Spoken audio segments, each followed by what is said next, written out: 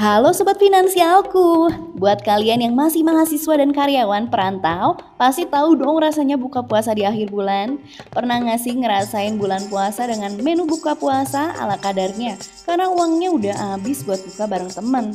Jangan khawatir, karena aku mau kasih tahu menu berbuka puasa yang enak dan hemat. Ini dia. Yang pertama, ikan lele goreng dengan balutan sambal tomat. Siapa yang gak kenal dengan pecel lele? Makanan merakyat yang lezat mudah ditemui di mana aja, apalagi di kota-kota besar. Ada yang pecel lele dengan model warung kaki lima, dan ada juga yang sudah berbentuk seperti rumah makan. Jika di warung kaki lima, kamu bisa mendapatkan dua ekor ikan lele goreng, sambal tomat, dan nasi putih dengan harga Rp15.000 kamu hanya perlu mengeluarkan uang Rp10.000 aja kalau masak sendiri loh. Di samping itu, lele goreng dan sambal tomat ini adalah menu buka puasa praktis dan mudah yang sangat akrab di lidah orang Indonesia. Yang kedua, nasi pecel. Menu khas Jawa Timur ini adalah menu makanan yang mudah banget dan hemat. Kamu bisa buat sendiri di rumah. Cukup beli sayur seperti kangkung, toge, dan kacang panjang. Lalu bisa banget beli bumbu pecelnya di warung. Sayur kemudian direbus sampai matang, lalu larutkan bumbu pecel dengan air hangat. Selain hemat, pecel ini merupakan menu yang sehat loh. Yang ketiga, bihun goreng campur telur.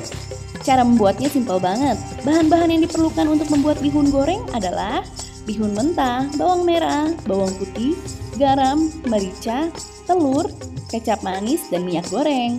Rebus dulu bihunnya sampai matang. Kemudian tumis bahan-bahan makanan yang ada. Tambahkan sayuran dan daging agar lebih nikmat. Enak dan murah kan? Yang keempat, telur penyet dan sambal terasi. Telur penyet ini bisa berupa telur rebus yang digoreng, telur mata sapi, atau telur dadar. Kamu hanya perlu membuat sambal terasinya aja sebagai pendamping. Untuk membuat menu makanan ini, kamu hanya perlu menyediakan uang Rp7.000 aja. Menyantapnya dengan nasi hangat akan menambah kenikmatan berbuka puasa loh. Yang kelima, mie instan.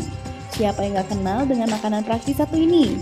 Mie instan sering menjadi menu makanan pilihan pada saat tanggal tua.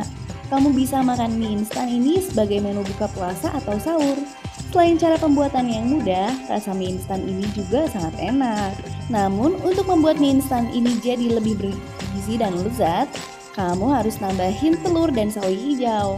Mie instan goreng atau kuah dapat ditambahkan dengan telur dan sayuran. Puasa nggak melulu harus berbuka dengan makanan mewah kok. Karena pada dasarnya yang terpenting dalam puasa adalah ibadah kita.